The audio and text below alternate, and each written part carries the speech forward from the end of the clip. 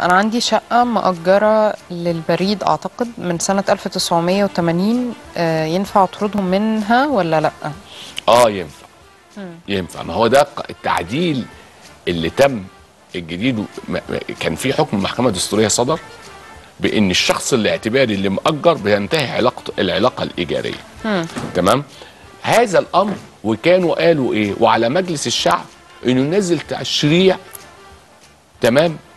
ينظم الموضوع. مجلس الشعب ما نزلش حاجة تشريعية لغاية اللحظة اللي إحنا بنتكلم فيها تمام؟ فأصبح من حق أي شخص مؤجر لشركة لشخص اعتباري ايا كان قطاع خاص أو عام تمام؟ إنه ينهي عقد الإيجار القديم اللي كان مفتوح ده. فعليه صاحب البيت انه يشوف عقد الإيجار ده مدته إيه؟ مشاهره يعني شهر بشهر يبعت لهم إنذار إن أنا مش هجدد الشهر الجاي. لا في تلاقي عقد إيجار من القدام كاتب لمدة ثلاث سنين. هنشوف آخر ثلاث سنين هيخلصوا إمتى وابعت لأن لو رفعت قبل كده إنه العقد كده بي- بيجدد. ففي الغالب هتلاقي كل العقود معمولة مشارة أو حتى المدة هنستنى المدة اللي باقية السنة أو السنتين ويرفع وده تعديل جديد لسه طالع. يعني أو ده حكم محكمة دستورية. أجاز إنك إنك ترفعي دعوة طرد على الشخص الاعتباري.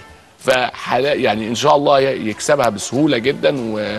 والأمر ده بقى لذيذ. ده برضو بيخفف حتة ال- الأمد الطويل اللي. اللي بياخدوه الجهات اللي, اللي هو شخص اعتباري ده ما يموتش البريد هيموت. مش هيخلص.